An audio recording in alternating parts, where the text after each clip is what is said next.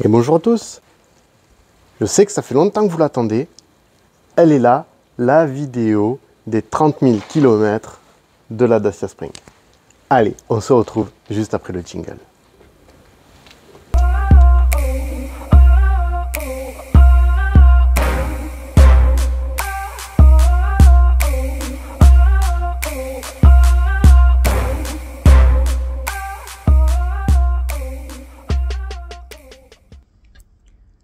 Fais vite euh, une petite aparté pour les ampoules. J'ai trouvé, euh, bon, j'ai eu, euh, il y a eu des conversations sur mes vidéos, tout ça, pour les ampoules homologuées à LED. j'ai une ampoule Philips Pro 6001 H7 de mémoire. De mémoire. De toute façon, je vous mets le lien en description. Vous pouvez acheter. Alors, c'est cher. C'est cher. Mais c'est homologué. Donc, si vous voulez des LED homologués, elles existent. Elles sont vendues par Philips. je vous mets le lien en description. Bon, bon, on se retrouve dans cette voiture qui a passé les 30 000 km. Je sais que ça fait longtemps que, que vous m'attendiez, que vous attendiez cette vidéo, que vous attendiez que je fasse une vidéo c'est compliqué. Je vais un petit peu vous expliquer, avant de vous parler des 30 000 km de cette voiture, je vais un peu euh, vous parler de moi. Pourquoi je fais pas trop de vidéos en ce moment et euh, pourquoi j'ai autant tardé pour faire la vidéo des 30 000. La voiture a actuellement 32 000 km et euh, c'est très compliqué je viens de racheter une entreprise et en fait ça m'a pris énormément, énormément de temps. Donc euh, c'est pour ça, là on arrive plus dans la période de Noël et il faut savoir que j'ai une deuxième chaîne YouTube, ça je l'en déjà parlé, et euh, je l'alimente seulement trois mois par an, de octobre jusqu'en décembre, janvier. Euh, c'est euh, une, chaîne YouTube sur les décorations de Noël et de Halloween. Euh, la chaîne s'appelle Ma maison de Noël. Je vous la mettrai en haut, je ne sais plus de quel côté c'est. et je vous mettrai aussi le lien en description. Cette chaîne YouTube, je l'alimente seulement trois mois, donc c'est trois mois où je suis beaucoup plus obligé de me consacrer à cette chaîne parce que je ne peux pas le décaler dans le temps. Et, euh, et donc du coup, euh, je... Hop là, un petit pare-soleil. Euh, c'est une période où du coup c'est plus compliqué pour moi de faire des vidéos sur tout savoir et rien payer. Là, j'avais un petit peu de temps, je me dis, allez, vite, on l'a fait. De toute façon, il va falloir très vite qu'on enchaîne avec les changements de pneus, changement de plaquettes la révision. Donc il va y avoir trois vidéos qui doivent arriver euh, dans les semaines qui arrivent, obligatoirement, parce que euh, les pneus et les plaquettes, je vais les faire avant la révision, et la révision, faut que je la fasse le mois prochain. Donc euh, forcément, ça va arriver dans les jours qui arrivent, dans les, dans les semaines qui arrivent plus précisément. je suis obligé de le faire. outre ça, dans trois semaines, euh, on, part euh, avec euh, ma femme et les petits chez Mickey. c'est un séjour qui se prépare à l'avance. je suis comme vous, j'aime bien regarder des vidéos YouTube. Et donc j'ai regardé énormément de vidéos YouTube et ça aussi ça a pris énormément de temps pour savoir comment faire avec des enfants sur le parc et tout ça. Ça, c'était pour la partie aparté. Je n'ai pas fait de vidéo. Ça ne veut pas dire que je pense pas à vous. Je réponds à vos commentaires. j'ai reçu beaucoup de commentaires, comme je vous le dis. Je sais que vous vous préoccupez de, ça, puisque je, lis vos commentaires et je vous réponds. Euh, si je vous réponds pas de suite, c'est parce que euh, je suis actuellement euh, occupé, mais je réponds généralement grand maximum dans la semaine. Ça, c'est vraiment quand j'ai vraiment pas le temps de m'occuper de, YouTube. Mais euh, j'essaye quand même de toujours faire passer YouTube quand même dans, dans le lot. Pour ce qu'il en est de cette voiture, de cette Dacia Spring et de mon avis au bout de 30 000 km et bientôt deux ans. J'en suis toujours ravi. J'en suis toujours ravi. Alors, je reçois beaucoup de commentaires aussi euh, parce que euh, mon autonomie est basse. Euh, je reçois beaucoup de commentaires de personnes qui ont des problèmes et qui me demandent pourquoi je n'ai pas fait de vidéo sur certains problèmes. Bah, tout simplement parce que je ne les ai pas eus. Je ne peux pas parler d'un problème que je ne connais pas. Je suis, moi par exemple, je n'ai jamais eu le clonk. Je n'ai jamais eu le problème des rappels de ceinture arrière parce que ma voiture c'est fait partie des premières, de la première génération euh, auquel il n'y avait aucun problème. Beaucoup d'entre vous n'ont jamais eu de problème avec leur Dacia Spring. Certains en ont eu malheureusement, mais euh, sachez que moi, si j'ai pas de problème, je peux pas faire de vidéo. Maintenant, euh, si un des abonnés qui habite autour de chez moi et qui a un problème, qui veut que j'en parle sur ma chaîne, il me contacte, on peut en parler. Et je peux même faire une vidéo sur sa voiture pour en parler plus amplement. Mais sans ça, je ne peux pas inventer des problèmes sur ma voiture. Donc, voilà pourquoi euh, je ne fais pas certaines euh, vidéos sur certains problèmes, tout simplement parce que je les ai pas. J'en suis 100% ravi. Mon autonomie, faible, ce n'est pas à cause de la voiture qui a été testée, c'est à cause de moi. Et ça, je le savais depuis le début. Je l'ai déjà dit dans plusieurs vidéos, j'ai une conduite pas économe, qui n'est pas du tout adaptée à un véhicule électrique, et j'ai du mal à m'adapter à ça. Euh, disons que malgré ces 45 chevaux, euh, sur une petite route de montagne un peu sinueuse, on s'amuse très rapidement. Ça a forcément des impacts. Quand c'est une petite voiture avec des petits pneus, on les use plus vite. Les suspensions, ben, vous le savez, elles sont pas si ouf que ça. Donc pareil, ça use les pneus quand on, est, euh, quand on a une conduite un peu sportive. Et euh, ben, vous êtes sans savoir que euh, dans un véhicule électrique, la régénération, économiser les plaquettes. Mais lorsqu'on a une conduite comme la mienne, bah ça économise pas les plaquettes. Les plaquettes, elles ont deux ans, je suis obligé de les changer. Ça, c'est le jeu. Ce n'est pas la faute de Dacia, c'est entièrement la mienne. Je mets la, faute sur personne. Mais du coup, forcément, ça implique euh, que, je reçois des commentaires sur euh, des problèmes, mais ce n'est pas des problèmes liés à la voiture, donc euh, là, je vous en parle. J'en ai parlé quelques fois, petit peu par-ci, par-là, mais c'est tout. Parce que euh, c'est pas un problème lié à la voiture, c'est un problème lié, euh, comme dirait un collègue à moi, à l'interface siège volant. Hein, le mec, le bonhomme qui est au milieu. Donc voilà. Si ce n'est de la voiture. Alors, 30 000 km, cet été, j'ai quand même fait 6 allers-retours dans les Alpes. Euh, j'étais dans la transition euh, employé-patron. Et donc, euh, je ne travaillais pas. Ça n'a pas, empêché que j'avais beaucoup de choses à faire et beaucoup de papiers. on est en France et que on adore la paperasse en France dans tous les corps de métier. Hein, c'est hallucinant. Donc euh, beaucoup de paperasse pour euh, le, rachat de mon entreprise. Et, euh, puis ben, on, a, profité un petit peu. Hein. je vous dis, on est parti six fois dans les Alpes. c'était pas pour travailler, hein. c'était surtout pour du plaisir personnel et familial. Et six fois, on est monté avec cette petite voiture. j'ai rencontré des problèmes. Je n'avais pas fait de vidéo au moment où j'ai eu ces problèmes parce que euh, on ne pense pas forcément à sortir le téléphone et à faire une vidéo et j'étais pas forcément équipé de mon matériel pour le faire à ce moment-là. Euh, cet été, on a eu de fortes canicules et par conséquent, euh, les batteries, ben, la canicule, elles n'aiment pas forcément ça. Enfin, elles le vivent très bien si on n'enchaîne pas les recharges et les décharges. Euh, on a eu fait euh, plusieurs heures de route en s'arrêtant.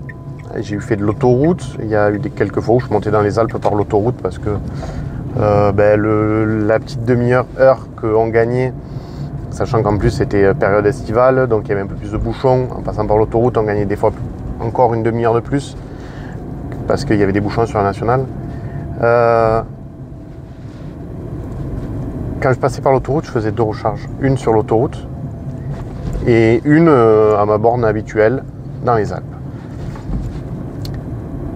Le premier problème que j'ai rencontré, c'est euh, lorsque on arrivait euh, en borne de recharge, pleine chaleur, milieu d'après-midi, il faisait pas loin de 40 degrés dehors.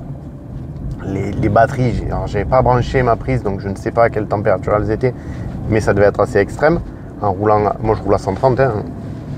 ça je voulais jamais cacher. Je suis pas partisan de euh, ah non, faut rouler à 90 pour économiser ou 110. Euh, non, c'est une voiture. C'est limité à 130, je roule à 130. Bon, dans celle-là, je suis à fond. Mais je roule à 130. Donc les batteries se déchargent plus vite, donc elles chauffent plus vite, elles chauffent plus.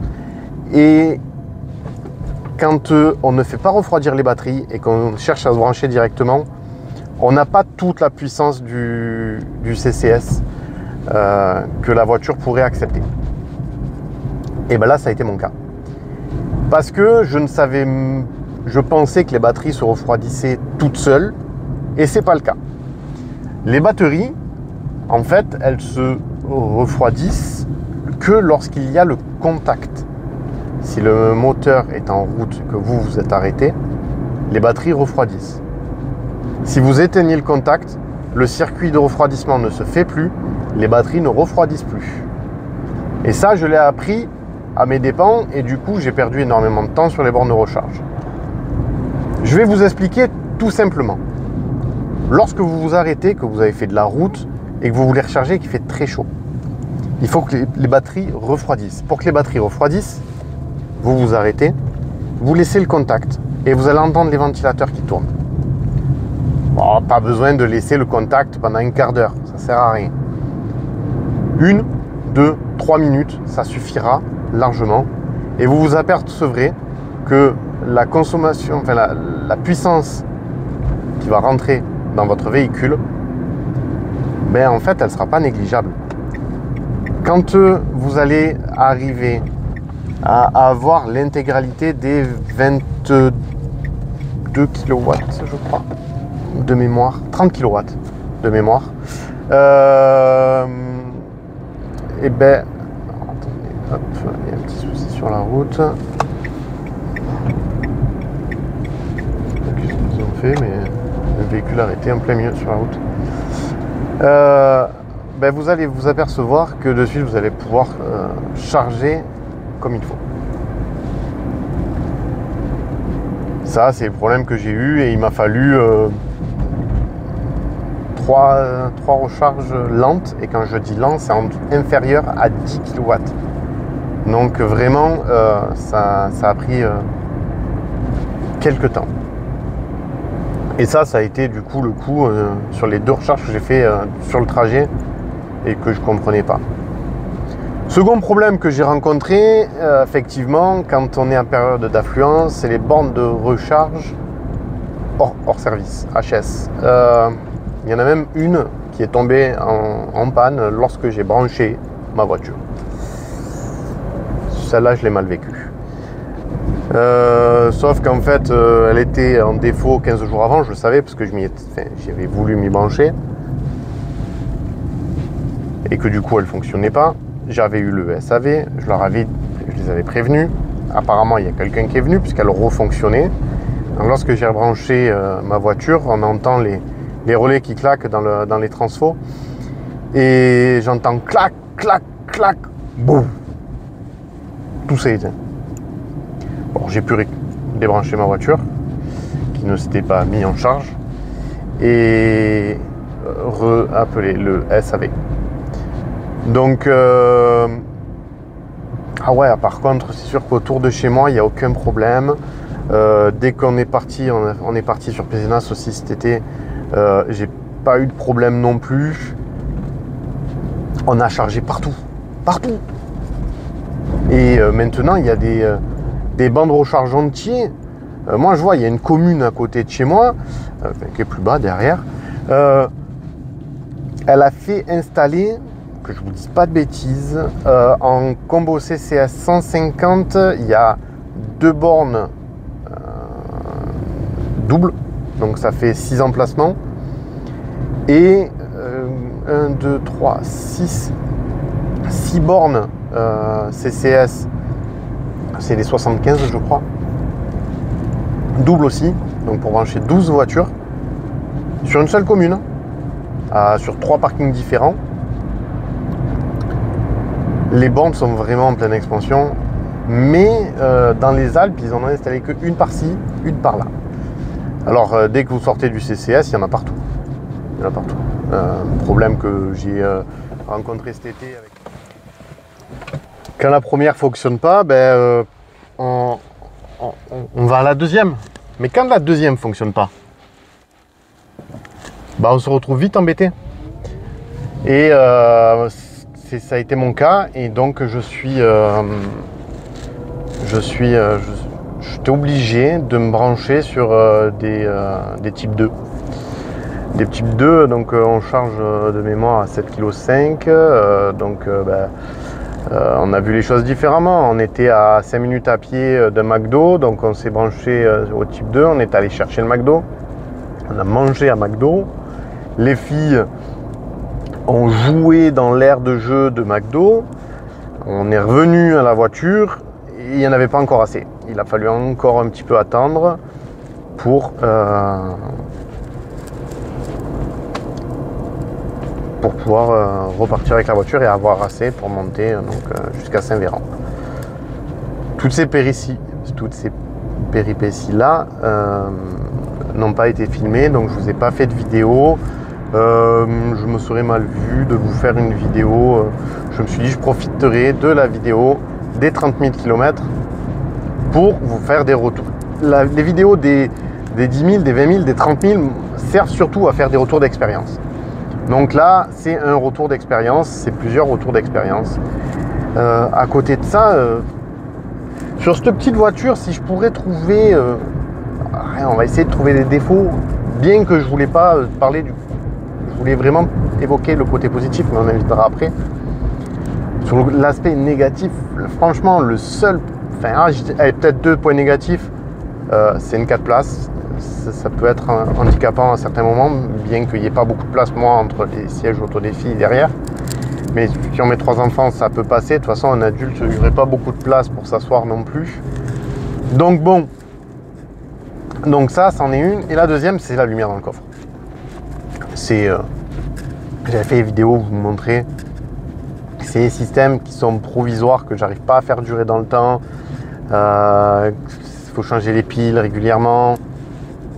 Et je suis en train de chercher à trouver un système. Là, on vient d'acheter des nouvelles trucs, mais toujours pareil, euh, à pile ou qui se recharge, qui se colle euh, dans le coffre et qui éclaire quand le coffre s'allume. Mais euh, il faudrait quelque chose de fixe, de, qui soit branché aux 12 volts de la voiture, vraiment pour que ça fonctionne et qu'on ne soit plus embêté. Mais ils n'ont pas prévu ça. Et ça, c'est bien dommage parce que je pense que ça n'aurait pas coûté bien cher de le faire. C'est un peu comme le régulateur de vitesse. Hein. Je suis sûr que ça aurait pas coûté bien cher de le mettre. Mais bon. Ça, c'était plus pour les euh, points négatifs. S'il fallait chercher des points négatifs, parce que, attention, hein, c'est des. J'ai pas le mot qui me vient à l'esprit pour dire. Mais c'est futile, voilà. C'est pas des vrais problèmes. 4 places, c'est déjà largement suffisant. Euh, moi, les filles, je sais que quand on part, même en vacances, elles ont la place, elles arrivent encore à jouer, elles arrivent encore. Donc, c'est vraiment euh, futile. Maintenant, sur tous les points positifs, qu'est-ce que c'est économique? Les économies que j'ai fait en deux ans depuis que je roule avec cette voiture, c'est agréable. Surtout avec l'inflation qui court actuellement. Alors, euh, j'ai pas évoqué le problème des, des, hum, des bornes qui ont augmenté. Mais ça, à la limite, c'est pas le plus dérangeant. Parce que ça reste dans sa globalité hyper intéressant. J'avais parlé tout au début que euh, personnellement je payais un crédit, euh, j'ai gagné un peu mieux ma vie. Ça fait quelques mois, non, ça fait bientôt un an, que j'ai décidé d'augmenter mes euh, prélèvements. donc je suis plus aussi rentable qu'avant, mais par contre dans moins d'un an j'ai fini de payer. Donc ben, je crois que ça fera trois ans. Ça fera la voiture, la voiture aura trois ans quand je vais finir de payer le crédit de cette petite voiture. Euh, comme je vous l'ai déjà dit, moi à 4 ans, je pense que je vais la revendre. Donc, euh, ben, ça, ben, pendant un an, je ne payerai plus de crédit et euh, j'aurai vraiment que le coût de l'électricité. Alors là, je vais vraiment gagner encore plus d'argent. Ça va être encore plus intéressant. Mais euh, pour le moment, bah, c'est intéressant. Ça, c'est indéniable. Et euh, donc le, prix, c'est vraiment un point ultra positif. Moi, euh, sa petite puissance me convient largement, malgré tout ce que je vois, malgré tout ce que j'entends. Sa petite puissance, bah, ça reste une citadine. Euh, si vous êtes en train des fois de me comparer des, grosses voitures qui ont plus de 1000 km d'autonomie au, gasoil à une citadine. Je essayais de prendre euh, une Smart et de traverser la France avec, une C1, traverser la France avec. Vous allez rencontrer les mêmes problèmes qu'avec cette voiture. je vais parler d'inconfort, bien que moi, on, on passe 4 heures dedans pour monter dans les Alpes sans aucun problème, très confortable. Je pense que dans une petite citadine, euh, tout ce qu'on lui demande. C'est vrai qu'il euh, n'y a pas le confort pour traverser la France. Mais c'est ni une BM, ni une Mercedes, ni euh, même n'importe quel véhicule haut de gamme pour traverser la France. Donc, why not? Ensuite, la couleur est sympa. Alors, euh, oui, Dacia a fait beaucoup d'efforts là-dessus. Il y a des couleurs qui sont très très sympas. Des fois, le vert kaki, je le trouve quand même assez joli. Euh, j'ai trouvé l'autre jour, je suis tombé sur une, euh, bleue foncée. Je n'avais pas vu, j'avais jamais vu super joli, j'ai adoré aussi. Et puis c'est vrai que la nouvelle euh, version avec euh, les coques et, autres accessoires euh, dorés, j'adore, c'est super joli. Je trouve ça encore plus subtil que le orange, bien que j'aime bien mon orange. Donc non, là, je, j'ai du mal à trouver des points négatifs et je, des fois j'ai du mal à comprendre vos points négatifs. Peut-être parce que j'ai jamais eu de problème avec ma voiture. Il y en a qui ont euh, quand même eu la loi des séries entre les rappels pour la ceinture, le clonk apparemment fait toujours polémique et personne n'arrive à trouver ce que c'est. Enfin, plein de monde a trouvé ce que c'était. Mais euh, Renault Dacia est toujours en train de chercher euh, pour ne pas payer. Parce qu'il est là le cœur du problème. Euh, parce que le problème il vient soit du différentiel, soit des cardans. Donc, la question elle ne se pose pas. Il y a un défaut, ils doivent changer. Et si j'aurais un conseil à vous donner là-dessus, c'est si jamais Renault ne veut pas faire de changement, de prix sous garantie ou qui garde votre voiture trop longtemps, récupérez-la. Faites passer un expert. Vous y avez droit avec votre assurance. Faites passer un expert automobile dessus. Ou allez dans un autre garage. Euh, je ne vous dis pas d'aller chez Noroto au feu vert, hein. mais dans un autre vrai garage.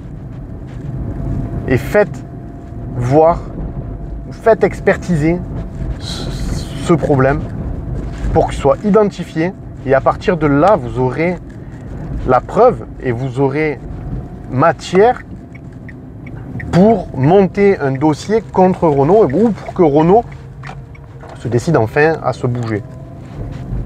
C'est long, c'est coûteux, mais euh, j'ai pas d'autres propositions à vous faire. C'est comme ça que je le vois et, c'est comme ça que la loi euh, est. Euh, malheureusement, euh, ça ne vous donne pas 100% raison, ça ne donne pas 100% raison à, Renault, mais il y a des, organismes qui sont là pour vous aider. contacter les, les, associations de consommateurs. Il y en a qui sont dédiés dans les voitures. Et peut-être qu'il y en a même qui sont dédiés dans les véhicules électriques, même si pour moi c'est pas un problème dû à l'électrique. Mais euh, contactez-les. Contactez-les et je peux pas vous dire mieux, franchement. Ensuite, ben, pour tout ce qui est de conduite, de tenue de route, moi, je trouve que c'est pas vilain pour euh, une citadine. J'ai déjà conduit une C1. J'y ai fait pire que ma Dacia. Euh, parce que c'était pour l'essayer vraiment. Euh, et sur les petites routes sinueuses, je me retrouvais pratiquement avec les mêmes problèmes qu'avec cette petite Dacia. Donc ça reste raisonnable. Alors, là, je suis en train de m'insérer sur une voie rapide. Alors oui, elle met du temps à arriver à 100 km/h. Maintenant, est-ce qu'on euh, a besoin que ça aille encore plus vite? Je m'insère sans problème. Je me retrouve très vite au cul d'un camion que je suis obligé donc de dépasser. Le bruit est gênant. À haute vitesse, il y a souvent des petits mouvements qui apparemment euh, ne sont pas résolus euh, dans les nouvelles générations. Donc, euh, euh, alors, il y avait la question de euh, vous faire une vidéo sur la nouvelle Dacia Spring. J'ai eu l'opportunité de l'essayer, je, ne l'ai pas encore saisi parce que je n'ai pas eu le temps. Peut-être que je vous ferai des petites séquences que j'intégrerai dans une autre vidéo. J'ai pas eu envie de faire cette vidéo tout simplement pour la simple et bonne raison que mon ami Jérôme, de la chaîne Electron Libre Reportage Auto l'a déjà fait. Il l'a déjà fait et euh, je vois pas l'intérêt de le faire en double. Euh, on n'est pas en concurrence. Je pense qu'on se complète bien. Il, euh, installe des trucs dans sa voiture que je n'ai pas. il a changé de voiture puisqu'il a acheté cette dernière voiture. Et enfin, cette voiture donc Dacia Spring 65 chevaux. Il en est ravi, mais c'est un peu plus compliqué. Je, vous invite vraiment à. Je vais mettre euh, sa vidéo en, lien euh, dans la description, en dessous de la vidéo. Euh, il s'est retrouvé lié à des problèmes qu'on a, nous, avec nos voitures, multipliés, puisqu'il y a plus de puissance. Tenue de route, en l'occurrence, les pneus catastrophiques, parce que c'est toujours les mêmes pneus qui sont montés sur cette voiture. Alors qu'en mettant des pneus corrects, de marque correcte, ben, on arrive à avoir une bonne tenue de route. Donc euh, il a fait donc, des vidéos là-dessus et je, ne vais pas euh, doubler ces vidéos. Euh, je vous laisse aller voir sur sa chaîne YouTube Electron Libre Reportage Auto. Et au moins comme ça, vous pourrez vous faire votre avis. Ensuite, euh, il y a eu ah oui, la question euh, du euh, dépassement. parce que ça aussi, c'est. Il n'y a pas assez de puissance, c'est dangereux, on ne peut pas doubler. il faudrait que j'ai ma femme à côté de moi et qu'elle vous explique et qu'elle vous dise combien de fois je double les voitures sur la départementale limitée à 80 km/h. Les mecs, ils sont à 50, 60, 70. moi, je supporte pas ça en plus. Enfin, vous avez pu comprendre que déjà de base, je suis pas de nature à rouler euh, comme un papy, on va dire. Moi, je suis une conduite un peu plus qui consomme en soi. Bon, le dépassement, je l'ai fait. Et très régulièrement. Alors euh, là, ça fait euh, quelques minutes, quelques dizaines de minutes peut-être même que la vidéo a démarré. Et j'aurais espéré pendant cette, ce vlog sur les 30 000 km de la voiture vous montrer des exemples où ben, je devais dépasser. sauf que ben, il n'y en a pas. Les gens roulent comme il faut. Pas besoin de, rouler vite. Alors attention, hein, quand je dis que je dépasse, c'est vraiment euh, pas des personnes euh, qui roulent vite et que je roule juste plus vite. Parce que oui, c'est sûr que dépasser euh, une certaine vitesse, c'est vraiment compliqué. Mais non, après, peut-être que c'est ma technique qui fait que vous vous y arrivez pas parce que vous avez l'habitude d'avoir 150 chevaux sous le pied et que dès que vous appuyez sur la pédale, ben, vous dépassez et puis c'est terminé.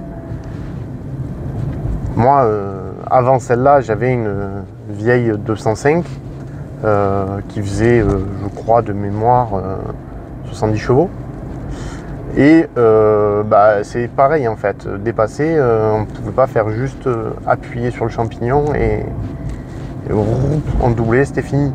C'est pas comme ça. Donc peut-être que du coup j'ai développé une technique pour doubler et que du coup j'arrive à doubler qui je veux, où je veux, quand je veux. Ah, des fois, euh, il y a des routes où c'est pas possible de doubler. Là, la, petite dame devant, je la doublerai bien parce que c'est limité à 50 et qu'on est 38. Mais les circonstances fait que c'est interdit et que de toute façon, il y a trop de virages, non pas assez de visibilité, donc je doublerai pas. Et puis là, on est en train d'arriver euh, en ville, donc euh, je doublerai pas non plus parce que c'est interdit.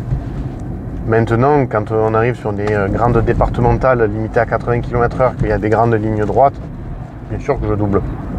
Et je vais pas m'en priver. Donc euh, voilà.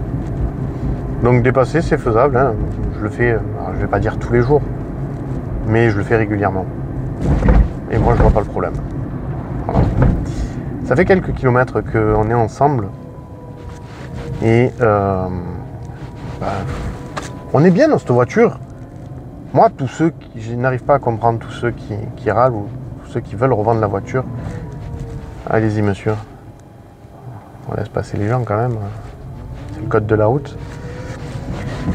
Je n'arrive pas à comprendre tous ceux qui revendent leur voiture parce qu'ils ne sont pas satisfaits de cette voiture. À quel point vous avez négligé certains caractères de ce véhicule au point de ne pas en être satisfait? Moi, c'est ça que j'arrive pas à comprendre. Euh, euh, il y a des gens dans la vie de tous les jours hein, que je connais hein, qui ont acheté cette voiture, qui sont satisfaits, d'autres qui ne le sont pas, sur, euh, bah, sur YouTube, des commentaires, sur, des, sur Facebook, sur les groupes, parce que je suis sur les différents groupes Facebook aussi. Je bloque. des commentaires du style oui, euh, on a acheté ça euh, pour ma femme pour qu'elle aille travailler, euh, mais la voiture n'a pas assez d'autonomie, pas assez de puissance, c'est compliqué, elle a 30 minutes d'autoroute par jour. D'accord? C'est une citadine? Si tu voulais une Clio ou équivalent, tu as la Sandero GPL, qui est intéressante financièrement pas de la pub pour Dacia, mais elle est pas trop chère. On peut mettre du GPL, ça coûte pas grand chose. Voilà, c'est ça que je dis. Peut-être pas acheter, ou alors acheter avec plus d'autonomie. La Zoé, je déteste la Zoé. C'est pour vous dire que je fais pas du tout pub pour qui que ce soit. Je vous parle pas forcément d'aller dans l'extrême. Euh, d'aller sur des, euh, des, Mac E, des Tesla ou, euh, des Renault Mégane.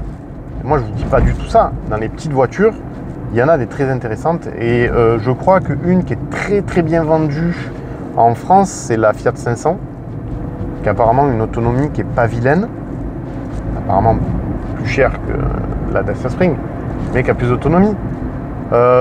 Beaucoup me comparent la Dacia Spring à la MG4. Alors j'en ai entendu parler pendant plusieurs mois, avant que j'aille voir vraiment sur catalogue ce qu'était cette MG4. Ah, je peux pas comparer. On peut pas comparer. Les gens, vous, êtes sérieux ou? C'est incomparable Déjà, MG4, on est plus sur de la citadine. C'est plus une citadine. C'est l'équivalent à une Clio. C'est plus une citadine. C'est un bon mix extra-urbain, mais c'est plus une citadine.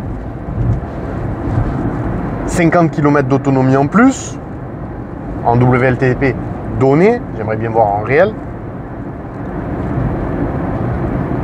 Et tout est option. Enfin, quand vous me direz maintenant sur la Dacia euh, Spring, tout est option aussi. Hein. Je suis allé voir dernièrement euh, pour la dernière euh, Dacia Spring qui est sortie.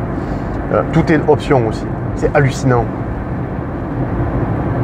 Mais euh, c'est pas le même prix. Vous êtes, euh, vous avez nettoyé les lunettes, je sais pas. Vous mettez-en peut-être. C'est pas. Mais là, on parle d'une différence de 5000 euros pour 500 km. Euh, pour 50 km. Pour à peu près l'équivalent. moi, au moment où j'ai acheté cette voiture, euh, il n'y avait pas d'équivalent. Je vous l'ai déjà dit, moi je l'ai payé 7000 euros. Trouvera pas mieux. Mais à l'heure d'aujourd'hui, avec les prix d'aujourd'hui, oui, la Dacia Spring a énormément augmenté. Mais la MG4, bah, le coffre n'est pas forcément plus grand. Alors ouais, il y a peut-être un peu plus de place sur la banquette arrière. Un peu. 50 km d'autonomie en plus. On va pas beaucoup plus loin. Hein. Euh, la caméra de recul est une option. L'écran est une option. Ben, tout est option. Je pense que c'est pas le même achat. Donc on ne peut pas comparer. À l'heure actuelle, les seuls véhicules avec lesquels on pourrait comparer la Dacia, ben, ils sont tous plus chers. Tous. Et certains n'ont pas forcément beaucoup plus d'autonomie. Donc euh, voilà. Ce fut un bilan euh, long. J'ai beaucoup parlé. Je crois que la vidéo va durer plus d'une demi-heure. Euh, ceux qui n'aiment pas regarder les longues vidéos, je suis désolé. Mais il y a beaucoup de choses à dire. Ça fait longtemps que je ne vous ai pas fait de vidéo. Peut-être que j'essayerai d'en faire un peu plus. Euh, là, c'est compliqué. Mais voilà, à part ça, franchement, je peux pas vous dire mieux. Et moi, je vous donne mon avis personnel, franc. Je suis franc. Je ne suis pas intéressé par quoi que ce soit. Je suis pas payé par Dacia, je suis pas payé par Renault. Je suis pas payé par qui que ce soit. Euh, toutes les vidéos que je fais, moi, c'est pour vous aider. Et apparemment, ça a aidé beaucoup de monde. Et euh, bah, j'en suis content pour ça. À partir de janvier, je... sais que ça fait un petit moment que je le dis, mais je devrais avoir peut-être un peu plus de temps. Et j'ai envie d'installer euh, de nouveaux accessoires sur ma voiture. Euh, dans les accessoires que je vais installer, il y aurait donc la protection de sous moteur. Apparemment, ça limite pas mal le bruit quand on est à haute vitesse. La voiture est beaucoup plus stable à haute vitesse, ne bouge beaucoup moins. Euh, je veux faire installer les vitres teintées. faire installer ou installer. J'ai vu des prix euh, plutôt euh, raisonnables sur internet. Les, prix que je voulais pas installer, ben, c'est comme le frunk. C'est tout ça, je voulais pas les installer parce que ça coûtait excessivement cher. À l'époque, quand j'avais regardé les vitres teintées, la protection sous moteur, le frunk. Si j'achetais tout, j'en ai pour plus de 1000 euros. À l'heure d'aujourd'hui, je crois qu'on dépasse pas les 500 euros. Les prix ont vraiment baissé, mais c'est. Pardon. C'est vous tous qui avez réussi à faire quelque chose en achetant ces accessoires à faire baisser les prix. Parce que plus c'est vendu, plus c'est rentable, plus les prix baissent. C'est mathématique. Pas tout le monde baisse les prix. Hein. Il y en a, ils veulent euh, faire encore plus de fric. Mais pour que ça se vende plus, il fallait que les prix baissent. Plus ça se vendait, plus ils baissaient les prix. Donc euh, ben, maintenant, on arrive à des prix raisonnables. Je crois que j'ai vu le, le, le, frein que j'en ai vu à euh, moins de 200 euros. la protection sous capot, pareil, je crois, c'était 160 euros, je crois, 170 euros. Les vitres teintées, euh, on est, je crois, dans l'ordre des 100, ouais, 160 euros aussi. Donc vraiment, il y a, une matière à faire. Bon, moi je suis arrivé à destination, je suis, en train d'arriver chez moi. Donc euh, du coup, je, bah, vu que j'arrive, je me gare, je vous fais la conclusion dehors. Petite conclusion donc, bon, en clair, ça sera à refaire, je le referai aussi. J'hésiterai peut-être avec la 65 chevaux. Non, je crois qu'en fait, j'hésiterai pas. Je prendrai sans doute la 165, la 65 chevaux. 165. 165 chevaux là-dessus, euh, c'est fini. Euh. premier virage, c'est un accident. C'est pour ça qu'aussi 45 chevaux, c'est bien, hein, parce que c'est tout est dimensionné pour 45 chevaux. Donc, il euh, n'y a pas matière pour moi à discuter. C'est le véhicule le plus économique du marché. Il n'y a pas moins cher. C'est le véhicule le moins cher. Maintenant, vous cherchez plus d'autonomie, mettez plus d'argent. Je ne peux pas mieux vous dire. Celle-là, elle fait le taf. Moi, quand je pars dans les Alpes, je fais plus de 300 bornes. On le fait. Et ça se fait. Hein. Si, comme je vous l'ai dit dans, cette vidéo, vous respectez les temps de refroidissement de la batterie, vous allez continuer à recharger rapidement. Et ça, je pense que ça serait bien de le faire tout le temps pas que l'été, même l'hiver. C'est bien, ça conditionne un peu les batteries avant la charge. Et comme ça, au moins, la borne, elle peut envoyer tout ce que la voiture peut accepter, bien sûr, parce que c'est elle qui accepte moins que ce que la borne délivre. Mais au moins, on est tranquille et la voiture, elle charge le plus rapidement possible dans les meilleures conditions. Au-delà de ça, ben, franchement, nous, on s'en sert tous les jours, on amène les petits à l'école. J'ai euh, une amie d'enfance à moi qui a la même en blanc, qui s'en sert tous les jours pour mener les petits à l'école. Bon, ils partent pas en vacances avec, écoutez, ils ont un scénic. Mais euh, ils en sont satisfaits. Bon, ils ont eu du problème de rappel, je crois, de la ceinture, il me semble. Euh, mais ce problème de rappel de ceinture, même celui qui a vu pour le chauffage, je crois que certains d'entre vous ont eu des problèmes avec le chauffage, ces problèmes ont été réglés. Le seul problème qui persiste, c'est le clonk, que beaucoup de monde a apparemment, et que Dacia a du mal à prendre en charge. Maintenant, pour tout le reste, 30 000, je vous en referai une pour les 40 000. J'espère que vous faire quand même d'autres vidéos avant. Mais euh, je vous ferai aussi 50 000. Et je pense que mon avis sera toujours le même. Sauf si entre-temps il s'est passé quelque chose qui a fait que... Mais vous aurez eu une vidéo entre-temps. Parce que je vous dirai en temps réel quand il y a des problèmes, des gros problèmes, je vous le dis tout le temps, je, prends le temps de vous faire une vidéo dans ces moments-là. Comme dans les semaines qui vont arriver, je vais prendre le temps de vous faire une vidéo sur les pneus, de vous faire une vidéo sur les plaquettes et de vous faire une vidéo sur la deuxième révision. J'ai toujours pas pris le rendez-vous, donc je sais même pas ce qu'ils font. Je sais que c'est pas la même que la première. Donc sans doute qu'il doit y avoir plus de points à vérifier. Euh, je crois que c'est au 2 ans, 4 ans qui change la batterie. 12 euh, volts. Je sais plus. Bref, j'ai entendu dire aussi que certains concessionnaires obligés de changer le filtre habitacle. Le filtre habitacle ne gêne pas pour la garantie. C'est un filtre habitacle. Vous pouvez lire tous les articles. Tout le monde vous le dira. Et euh, sinon, changez de garage, franchement. Changez de garage. Prenez rendez-vous sur l'application et vous décochez l'option filtre à. Et vous allez voir, ils sont obligés de ne pas vous le mettre parce que si c'est une option de ne pas le faire, c'est que vous avez le droit de le changer vous, tout simplement. Et puis, euh, faut dire qu'il J'ai regardé pour faire changer les plaquettes euh, pendant la révision, 159 euros pour changer 4 plaquettes à l'avant.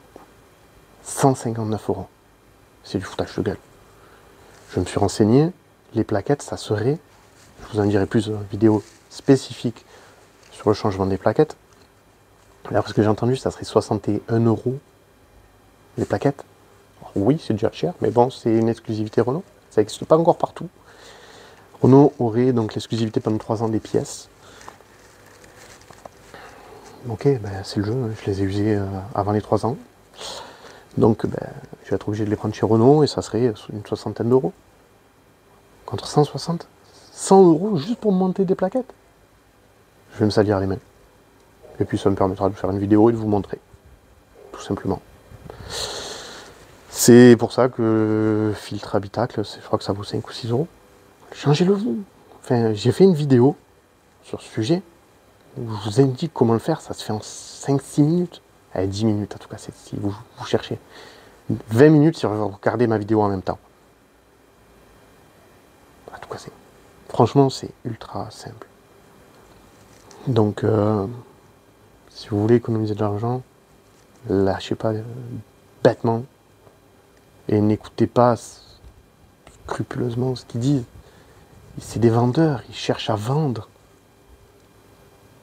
Vous avez le droit de ne pas changer votre habitacle. Et j'ai eu le cas d'un de un qui avait euh, changé son filtre habitacle et ils y ont rechangé. Alors qu'il venait d'être changé.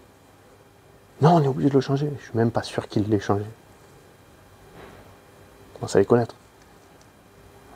À force, euh, j'ai plus confiance en beaucoup de garages. C'est pas pour rien. C'est parce que beaucoup fraudent. Vous disent ce qu'ils font, mais ils ne font pas. Ou le font mal, pour économiser de l'argent, pour aller plus vite. Donc euh, voilà. Voilà ce que j'avais à dire sur euh, cette petite voiture qui est bien sympathique, qui l'est toujours, que j'ai toujours pas de problème avec. Ma foi, on est content, ça se passe bien.